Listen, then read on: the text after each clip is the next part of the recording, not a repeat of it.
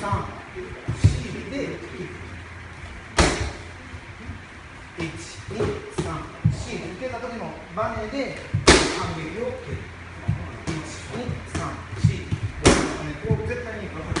立ち向かってこういったらダメですよどっちかが右踏めば下がってますからただこうしたなると反撃を行うで、うん、浮いてたかかとを体の右にずっとつけるような感じで、ねは